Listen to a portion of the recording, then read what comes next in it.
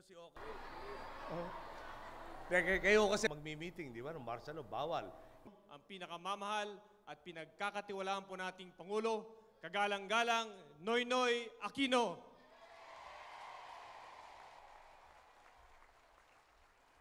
Maraming salamat po. Maupo tayo. Secretary John Abaya, Secretary Plano.